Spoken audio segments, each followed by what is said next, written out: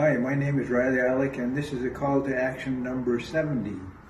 We call upon the federal government to provide funding to the Canadian Association of Archivists to undertake, in collaboration with Aboriginal peoples, a national review of archive, archival policies and best practices to, number one, determine the level of compliance with the United Nations Declaration on the Rights of Indigenous Peoples and the United Nations Joinet or Orentlicher principles as related to Aboriginal peoples, inalienable, inalienable rights to know the truth